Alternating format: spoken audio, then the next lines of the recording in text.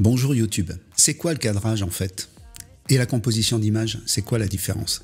Est-ce qu'il y a autre chose que la règle des tiers? Et le nombre d'or, c'est quoi? Il peut être nécessaire de s'entraîner, d'entraîner son œil, d'entraîner son mental à faire quelque chose d'harmonieux de manière extrêmement naturelle et instinctive. C'est quelque chose que l'on possède, mais que l'on peut développer. Et pour ça, on a différents outils qui ont été développés à partir du nombre d'or afin de nous aider à cadrer correctement et à composer notre image correctement de manière à obtenir quelque chose d'harmonieux et de proportionné.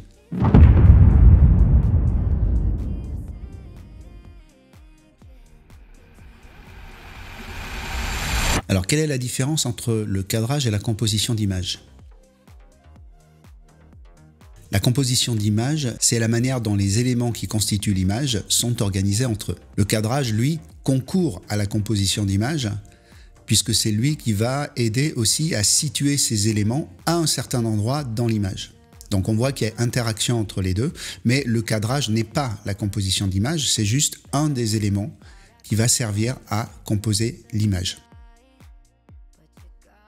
Lorsque vous regardez une image, vous commencez en principe en haut à gauche et vous parcourez l'image de gauche à droite et de haut en bas en décrivant un Z en fait. Ça c'est la manière dont on regarde une image ou une page d'une manière générale. Mais ce parcours de l'œil, cette lecture de l'image, peut être influencé par des éléments qui sont plus forts et qui vont attirer l'œil davantage que d'autres éléments de la composition. Dans ces zones qui attirent l'œil, il y a des points qu'on appelle des points de force, il y a des lignes qu'on appelle des lignes de force et il y a des zones. Donc lorsque vous cadrez, lorsque vous cadrez votre image, vous devez tenir compte de ces points importants dans l'image. Enfin, le cadrage concourt au storytelling, c'est-à-dire à l'histoire que vous racontez encadrant de telle ou telle manière. Vous allez voir que pour une même situation donnée, on peut cadrer de manière différente et raconter l'histoire sous un angle différent, c'est le cas de le dire, ou de manière différente. Le nombre d'or, c'est la représentation mathématique de ce que l'être humain considère comme harmonieux, équilibré et proportionné. Le but n'est pas d'appliquer le nombre d'or pour obtenir quelque chose d'harmonieux, mais ce que ça veut dire, c'est que nous, ce que nous considérons comme harmonieux, peut être traduit sous la forme d'un nombre, en l'occurrence le nombre d'or. Alors bien évidemment, ensuite, si vous utilisez les outils que l'on a développés à partir du nombre d'or pour travailler votre sens de l'harmonie, évidemment, ça va aider. Mais à la base, le nombre d'or n'est que la traduction de ce que nous, nous considérons naturellement comme harmonieux. On constate donc que nous possédons de manière innée des notions d'harmonie, de proportion, etc. Mais il peut être nécessaire de s'entraîner, d'entraîner son œil, d'entraîner son mental à faire quelque chose d'harmonieux de manière extrêmement naturelle et instinctive. C'est quelque chose que l'on possède, mais que l'on peut développer. Et pour ça, on a différents outils qui ont été développés à partir du nombre d'or afin de nous aider à cadrer correctement et à composer notre image correctement de manière à obtenir quelque chose d'harmonieux et de proportionné. Alors qu'est-ce que la règle des tiers? La règle des tiers est un outil de composition. Ça ne veut pas dire que toutes vos compositions d'images doivent être faites avec la règle des tiers. Il y a d'autres outils que la règle des tiers pour composer des images. Et puis, il y a des cas où la règle des tiers doit être appliquée d'une certaine manière. Et puis, cette règle ne doit pas être appliquée de manière rigide. Nous allons donc voir comment utiliser la règle des tiers. Donc basiquement, on va diviser le viseur en trois horizontalement et verticalement comme vous le voyez sur l'image à l'écran et on obtient ainsi deux lignes verticales, deux lignes horizontales, quatre points d'intersection qui sont appelés les points de force et trois zones verticales et trois zones horizontales qui correspondent donc aux tiers horizontaux et verticaux. Lors de la lecture d'une image, on aura tendance à diriger naturellement le regard vers les points de force les points d'intersection des lignes horizontales et verticales. On aura également tendance à vouloir suivre les lignes horizontales et verticales dans notre lecture.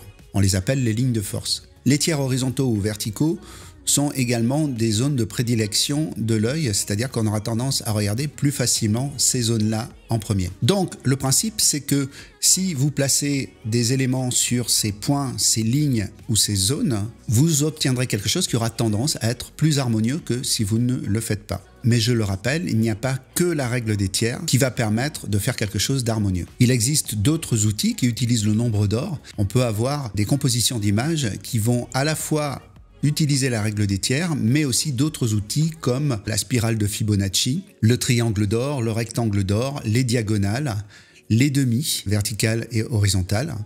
Voilà, il y a plein d'autres outils qu'on peut utiliser pour composer notre image. Donc je vous le rappelle, vous possédez de manière innée cette aptitude à faire harmonieux. Mais les outils dont on va parler dans cette vidéo vont vous aider à développer votre sens de l'harmonie. Et au bout d'un moment, c'est quelque chose qui sera complètement intégré. Vous n'aurez même pas à y penser pour pouvoir l'appliquer. Nous allons donc voir maintenant une série d'images dans lesquelles les outils du nombre d'or ont été utilisés et ce de manière instinctive à la prise de vue. Le livre Les secrets de la photo de studio va bientôt être épuisé et il va être réimprimé, ce qui est une bonne nouvelle parce que ça veut dire qu'il se vend très bien et qu'on est arrivé au bout du stock initial qui avait été imprimé. Dans le chapitre 4 de ce livre, Les secrets de la photo de studio, vous trouverez de manière exhaustive tout ce qui concerne le cadrage, la composition d'images et ce qui va avec tout ça, c'est la perspective. Donc si vous avez besoin d'avoir toujours sous la main ces notions de composition, de cadrage et de perspective, vous pouvez regarder dans le livre et l'avoir toujours avec vous. Je vous mets un lien ci-dessous qui vous ramènera vers une page de mon site dans laquelle vous trouverez les différents endroits où vous pouvez acheter ce livre.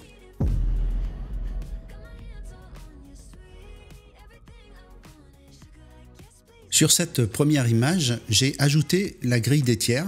Ça vous permet de voir que l'image utilise la règle des tiers, notamment puisque le mannequin se trouve sur le tiers gauche de l'image et elle est en train de faire une rotation en fait. Elle est en train de tourner au moment où je la shoot et on voit comment le corps est axé sur une ligne de force verticale et on voit comment la ligne des bras est axée sur la ligne de force horizontale. Ensuite, si on utilise les triangles d'or, on voit également qu'il y a sur une perpendiculaire à la diagonale un alignement entre le bras et le regard. On voit également un point de force au niveau du ventre et du bassin avec la deuxième perpendiculaire à la diagonale qui suit le mouvement du bassin en quelque sorte. Donc ça, ça concourt à donner de l'harmonie à cette image dont le cadrage est a priori pas évident. Encore une autre image qui vous montre comment on peut utiliser le triangle d'or avec l'épaule qui se trouve sur un point de force et la hanche qui se trouve également sur un point de force de cette diagonale. J'entends souvent que le fait de centrer le sujet ne respecte pas la règle des tiers. Alors c'est complètement faux. La preuve en est, c'est que vous avez ici une image dans laquelle le tiers central est utilisé. Ça veut dire donc que la règle des tiers est utilisée. Et vous voyez même que la main euh, droite du modèle se trouve quasiment sur un point de force. Donc là, on peut considérer que la photo est harmonieuse.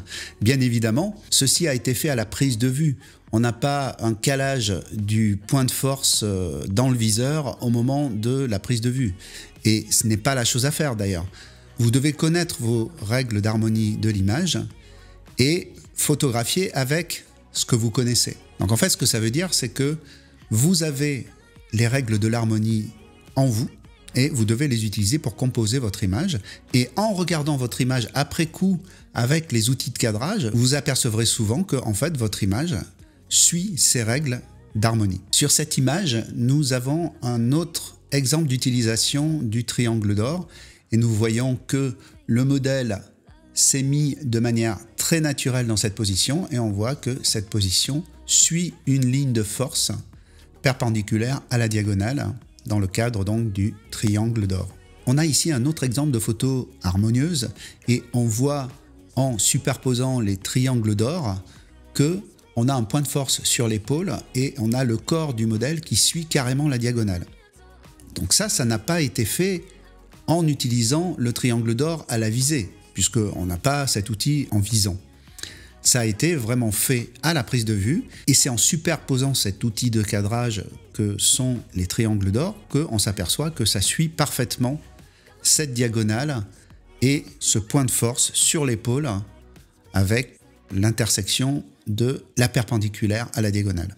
Ici, on voit un usage classique de la règle des tiers en plaçant le sujet cadré horizontalement sur la ligne de tiers droite. Voilà, donc ça c'est une manière classique de composer avec la règle des tiers. Là encore, nous trouvons un autre exemple de l'utilisation de la règle des tiers, mais en utilisant la zone centrale, le tiers central vertical, pour donner une sensation de calme et de stabilité, parce que le cadrage central, le cadrage au centre, c'est en général la sensation que ça donne. On voit donc que ça marche très bien pour le cadrage en pied, puisque le corps humain a tendance à rentrer dans le tiers central de l'image. On entend parfois dire que la tête doit se situer sur la première ligne horizontale de tiers. Alors ça, c'est absolument pas obligatoire. Tout dépend de la faisabilité de la chose. On voit bien ici que la tête ne peut pas être sur le premier tiers, sinon le cadrage ne sera pas bon. Donc, vous n'êtes pas obligé d'utiliser tous les outils de la règle des tiers à un instant T. Vous pouvez simplement utiliser les zones de tiers, vous pouvez utiliser les lignes de tiers, les lignes de force, et vous pouvez utiliser les points de force, mais vous n'êtes pas obligé de tout utiliser tout le temps. Dans cette image, nous allons voir que l'harmonie du cadrage et de la compo d'image correspondent à plusieurs outils du nombre d'or.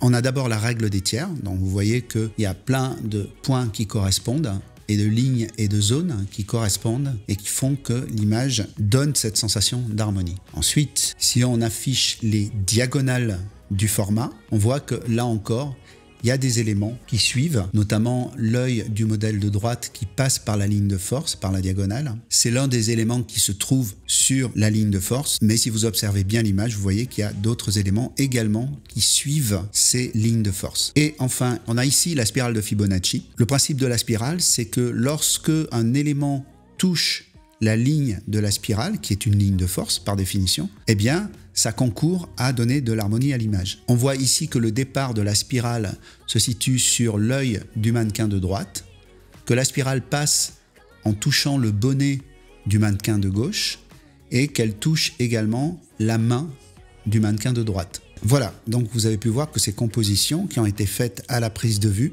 suivent les règles de l'harmonie de la composition.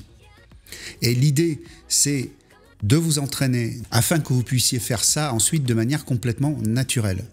Vous pouvez vérifier lorsque vous chargez vos images dans Lightroom que vos cadrages suivent ou non ces règles et vous saurez ainsi de manière assez instinctive quoi faire pour corriger le tir et pour arriver à des choses qui sont harmonieuses. Je précise que le cadrage et la composition d'images sont des éléments majeurs en ce qui concerne la photographie. On peut juger très rapidement du professionnalisme d'un photographe simplement en regardant ses cadrages. Et c'est quelque chose que je corrige très très souvent chez mes stagiaires lorsqu'ils viennent en présentiel. Je peux les corriger tout de suite et rectifier d'entrée des cadrages qui ne sont pas harmonieux. Nous allons maintenant faire l'analyse d'un portrait et nous allons voir comment il s'inscrit dans les règles d'harmonie en ce qui concerne la composition d'image. Voici l'image sans aucun quadrillage et nous allons maintenant superposer les quadrillages afin de voir à quelle règle d'harmonie ce portrait répond. Donc commençons par le centre. On voit que les yeux se trouvent sur la ligne de force centrale et le visage est coupé en deux par la ligne de force verticale. Donc là, vous avez une parfaite illustration que ce n'est pas forcément obligatoire de mettre la ligne de regard sur la première ligne de tiers parce que ça peut créer des compositions d'images déséquilibrées. Pour un portrait serré, notamment un portrait qui va englober la coiffure complète, on aura plutôt tendance à mettre la ligne des yeux au centre et non pas sur le tiers supérieur. Ici, on voit comment les diagonales fonctionnent. On voit que les yeux se trouvent sur les points de force des diagonales et on voit que la bouche également, la commissure des lèvres passe par des lignes de force des diagonales. Ici, on a la division de l'image en cinquièmes. Les cinquièmes, c'est un des outils du nombre d'or. Et on voit que là encore, les yeux passent par les lignes de force centrales la grille des cinquièmes. Ici, nous avons le rectangle d'or. Ne pas confondre avec les tiers, hein. vous voyez que ce n'est pas une division par tiers. Et donc, on voit là encore que les yeux passent par les lignes de force centrales du rectangle d'or. Nous avons ici la fameuse règle des tiers. On voit ici que le bord extérieur des yeux touche les deux lignes de force verticales du cadre des tiers. On voit également que la bouche passe par la ligne de force inférieure du cadre des tiers. Donc là, en l'occurrence, ce n'est pas les yeux qui sont sur la ligne de force supérieure de la grille des tiers, mais bien la bouche qui passe par la ligne inférieure de la grille des tiers. On peut utiliser la règle des tiers de manière souple. Et voici le triangle d'or. On voit qu'il y a une petite mèche qui tombe de la coiffure et qui se trouve au point de force supérieur du triangle d'or et elle suit également la perpendiculaire à cette diagonale. On voit également que le centre de la bouche passe par la ligne de force perpendiculaire à la diagonale. Voilà, donc vous voyez que ce portrait extrêmement simple, cadré au centre, répond parfaitement aux règles d'harmonie et de composition d'image. Et la règle des tiers est utilisée partiellement, de la même manière d'ailleurs que les autres règles, les autres outils de cadrage sont utilisés partiellement. Vous n'êtes pas obligé d'utiliser toujours tous les outils tout le temps. Vous devez utiliser certains aspects qui vont suffire à faire en sorte que votre image soit harmonieuse et équilibrée. La composition d'image est donc fondamentale. C'est vraiment quelque chose que vous devez travailler. Mais vous voyez également sur ce portrait que, en dehors de la composition d'image, il y a aussi quelque chose qui crée un impact. C'est le regard et la connexion entre le modèle et le photographe. Je vous mets sous cette vidéo un lien qui va vous permettre d'accéder gratuitement à une vidéo qui vous parle de la direction du modèle et d'une notion fondamentale en ce qui concerne la direction du modèle. Voilà, vous avez juste à cliquer sur le lien. Avec cette vidéo, nous allons probablement dépasser la cible des 1000 abonnés. Et ça, forcément, c'est grâce à vous. C'est une étape importante pour une chaîne YouTube puisque c'est l'un des éléments qui détermine le fait que la chaîne puisse ensuite être monétisée. Si vous avez aimé cette vidéo, mettez-lui un like et puis abonnez-vous puisque en dehors du fait que vous pouvez être le millième abonné à la chaîne, vous recevrez toutes les infos concernant les nouvelles vidéos qui arrivent sur la chaîne.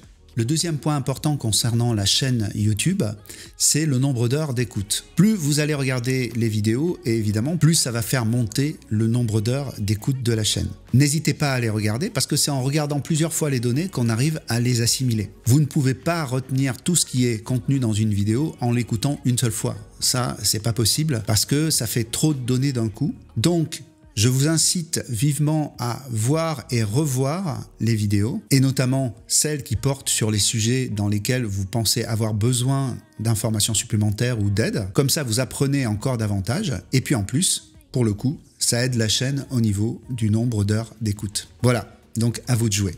Et puis surtout, n'oubliez pas, restez frais.